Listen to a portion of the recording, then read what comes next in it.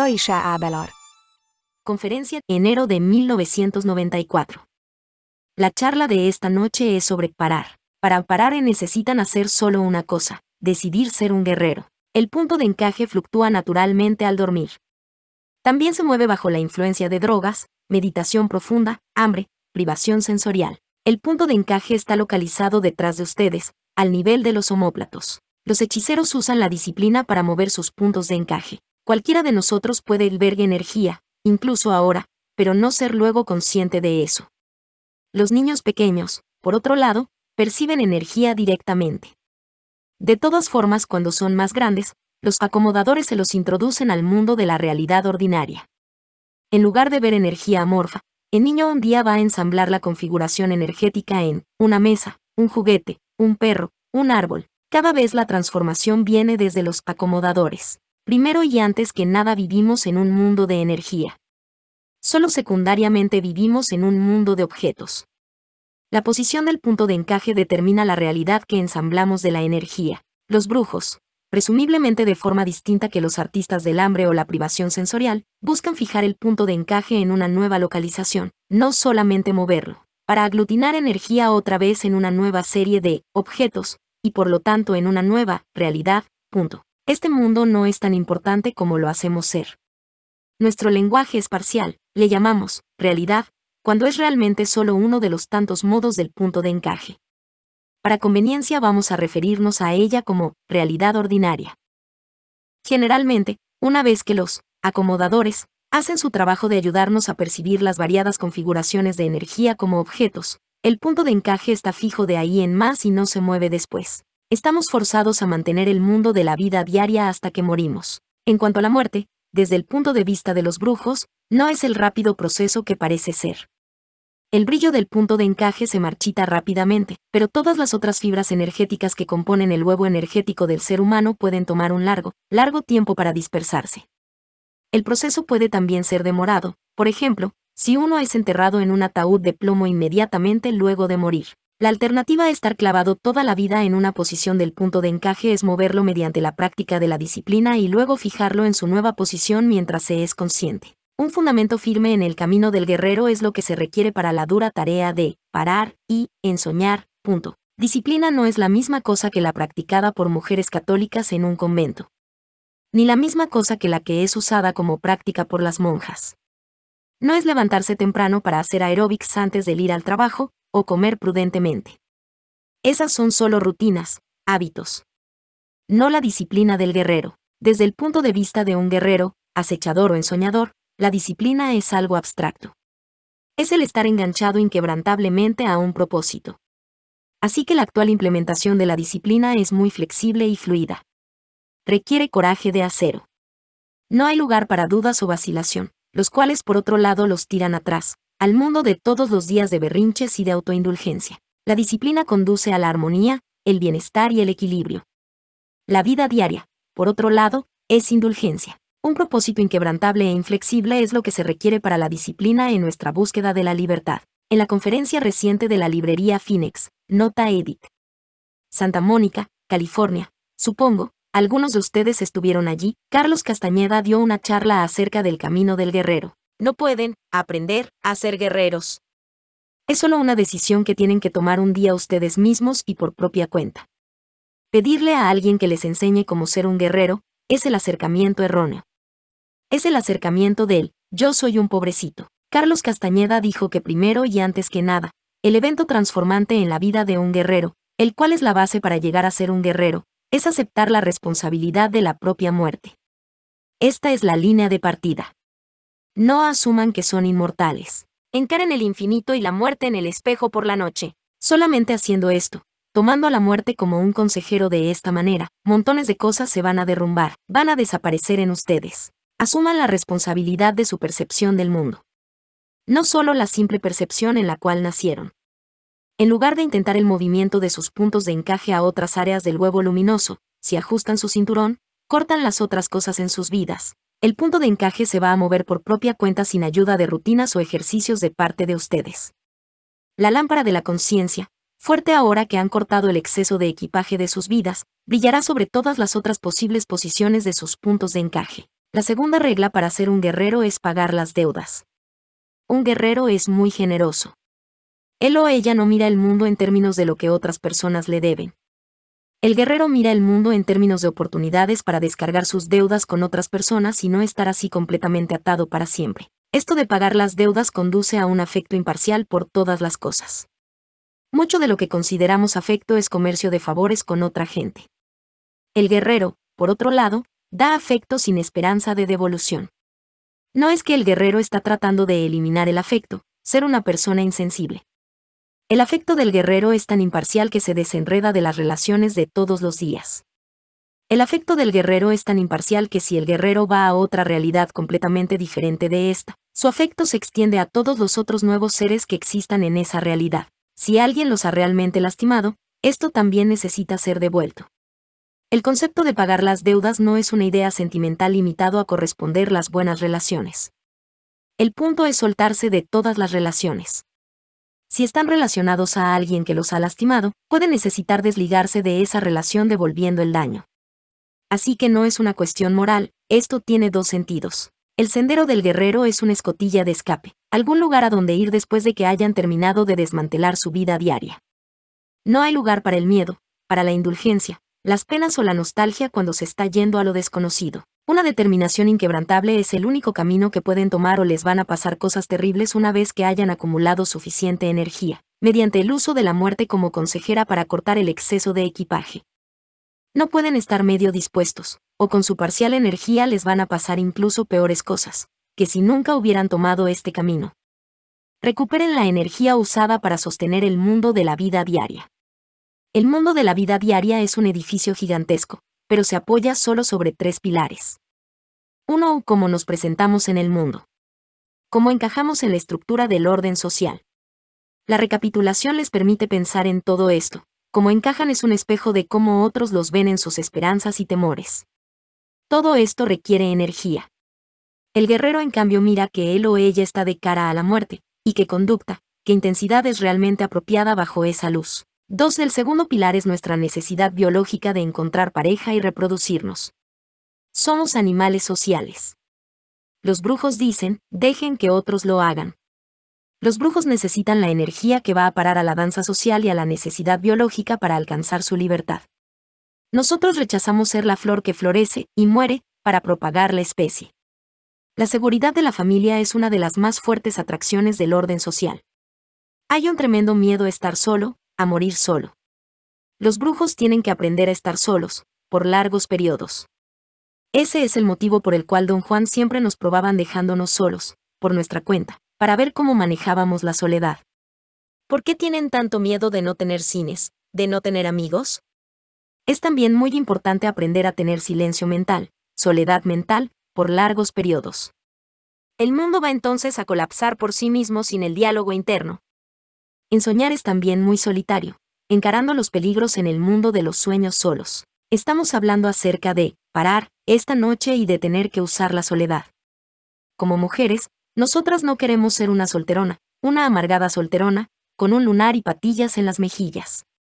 Nosotras aprendemos esas cosas, la necesidad de ser hermosas para atrapar un buen marido y hemos fundado la industria cosmética entera con nuestros miedos y nuestras preocupaciones. En la recapitulación tenemos una chance para ver esto y buscar alternativas. El camino del guerrero es no quedarse atrapado en el imperativo biológico de formar pareja y en la danza social motivada por la soledad, es en cambio dar un ilimitado afecto. No contar el número de romances que tenemos, o estar en una relación y soñar con alternativas que serían incluso mejores para nosotros.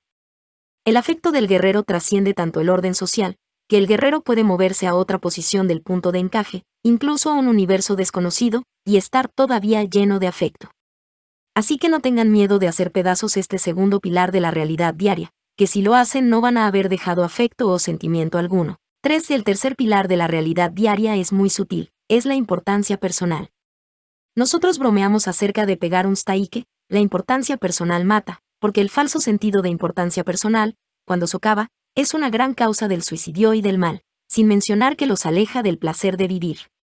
Cualquiera manifiesta la importancia personal de una manera u otra, ya sea queriendo ser el mejor en algo o queriendo hacer de mártir y ser el peor. El síndrome del, usa mis huesos como escalones para tu propia gloria.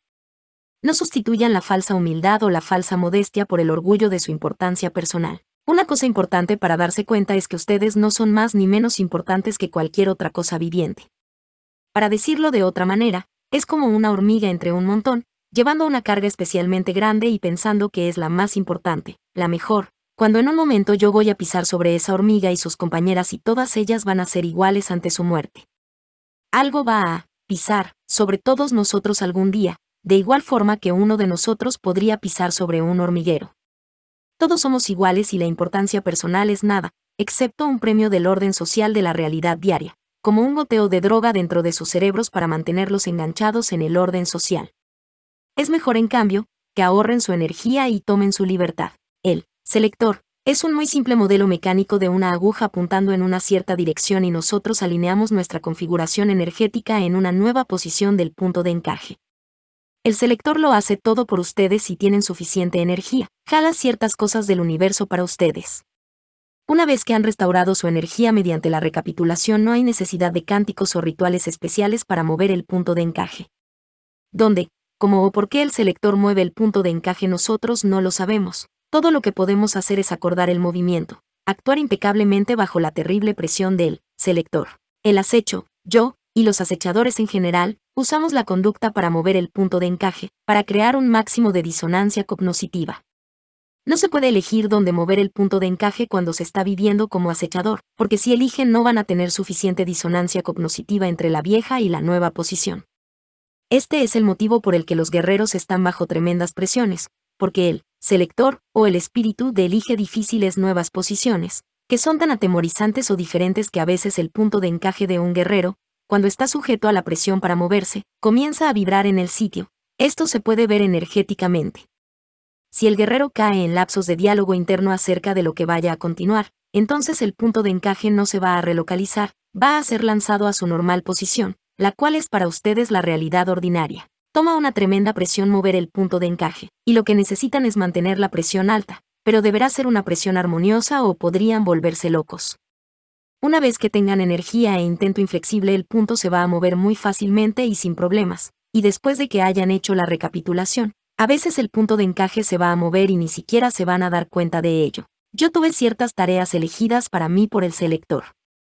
Tuve que vivir completamente como diferentes personas. Esto no era solamente actuar durante el día, o siendo consciente de que estaba actuando. Era una completa inmersión en un nuevo ser, las 24 horas del día. Uno es una nueva persona. Déjenme ser Julia Waters para ustedes. Se puso una peluca y lentes, tengo que usar lentes cuando soy Julia Waters. Julia Waters fue señalada para mí por el selector, el espíritu o como quieran llamarlo, tuve que llegar a ser una mujer de negocios, obtener un MBA, licencia legal del Estado, inversiones, mantener relaciones de negocios con apoderados, contadores y toda la otra gente del mundo de los negocios. Tuve cosas hechas, e hice y perdí fortunas porque cuando se está en esa posición hay una natural tendencia a desear el éxito, no fracasar. Tan natural es la tendencia a tratar de hacer un montón de dinero, no solo mantenerse o perder dinero.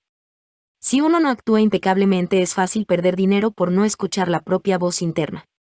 Decidí que tenía que tener una tierra maderera realmente grande en el norte, y fue realmente una tierra grande perfecta en todos los aspectos, excepto que estaba cerca del MTST Elena, y cuando sopló el volcán se arruinó.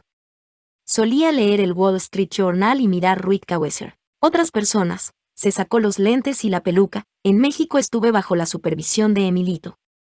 Él fue más un espectador o un guardián que un maestro. No interfería para nada en los roles que el selector elegía para mí. Fui Ricky, la primera posición elegida para mí, un gringo macho americano tratando de pasar por mexicano. Vestí ropas de hombre, pasé por hombre, tuve romances con una dama, e incluso usé baños de hombres. No me pidan que les cuente lo que tuve que hacer para usar baños de hombre. Lo voy a poner en mi próximo libro, El acecho y el doble. La segunda posición elegida para mí fue una mujer ingenua de Texas, sobrina de unas mujeres de México, quienes en realidad eran por supuesto las mujeres hechiceras del grupo de Don Juan. Tenía el pelo rubio por elección, y me paraba en el cuadrilátero esperando atraer a los hombres a esta cosa virginal, porque por supuesto tenía que ser virgen. Y mi pelo era muy atractivo es esencial ser absolutamente fluido. Ese es el punto de todos los ejercicios de no hacer, Así pueden ser absolutamente fluidos, y cuando el selector mueva sus puntos de encaje tendrán la disciplina necesaria para poder fijarlo en la nueva posición. No pueden verse solo como cínicos manipuladores de la conducta, actuando un rol, luego otro. Tiene que ser real para ustedes, absolutamente real. Después fui una mendiga loca, sentada en las escaleras de una iglesia, atacada por pulgas y mosquitos todo el día. Pero aunque soy alérgica a las picaduras, en mi rol de mendiga loca no me cuidaba, no me molestaban para nada. Yo era una mendiga loca y desechada, así que tenía cuatro strikes en mi contra y todo el tiempo del mundo solo para sentarme allí y ver el mundo pasar, porque nadie me notaba o me consideraba. Para concluir, nada es real, solo una manipulación de la conducta, solo un resultado de la fijación accidental del punto de encaje en el nacimiento. Esto es lo que los acechadores aprenden a través de ser tantas personas diferentes. Cada posición es igualmente real y por lo tanto, igualmente fantasma. Nosotros apreciamos nuestras posiciones presentes, pero incluso las más cercanas, las más reales son solo fantasmas cuando se mueven a otra posición. Toma años de recapitulación socavar el sentido de la realidad. Al mismo tiempo tuve que reemplazar la realidad con el camino del guerrero, para evitar la trampa del cinismo.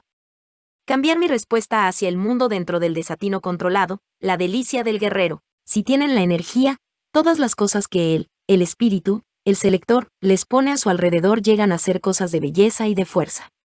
En el más alto sentido sus vidas llegan a estar rodeadas de una exhibición del arte de vivir.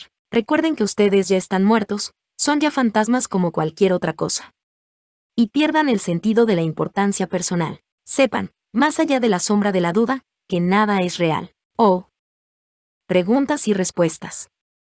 Después de la recapitulación y el no hacer, entonces van a poder ver, Moverse dentro de otra banda completa del huevo luminoso es como morir, porque el brillo de la conciencia del mundo diario se habrá ido.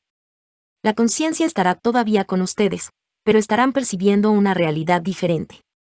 Para la realidad ordinaria ustedes se habrán ido, se habrán muerto. Hay similitudes entre las teorías de acupuntura china y las descripciones de los brujos del cuerpo energético.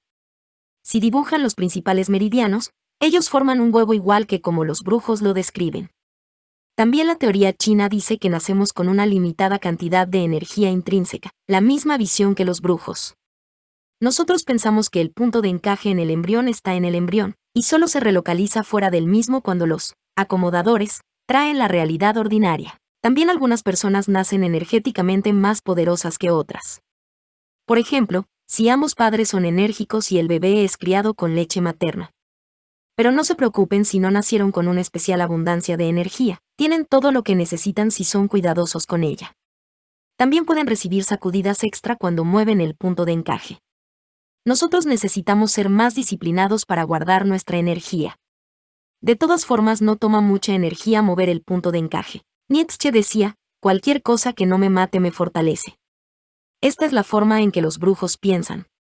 Pero por otro lado, cuídense de los filósofos, porque son famosos locos autoindulgentes. La recapitulación, no hay un método.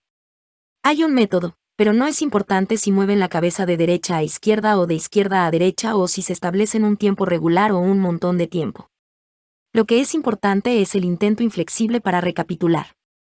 Después el espíritu los va a guiar dentro de la forma correcta y el tiempo y la cantidad de práctica.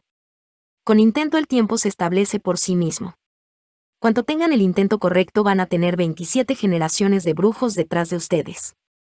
No todos ellos practicaron la recapitulación de la misma manera, pero su intento los va a enganchar, a apoyar y a guiar. El intento allí afuera es constante, pero el método varía. De todas formas. 1. Inténtenlo. 2. Hagan de eso una integridad, no se jacten o compitan. La competición es la peor cosa en el mundo es el soporte primario para el tercer pilar de la realidad diaria, el sentido de la importancia personal. 3. Disciplina, orden, armonía. No estén al azar, a menos que lo intenten. La mayoría de la gente hace una lista y va hacia atrás. 4. Respiren.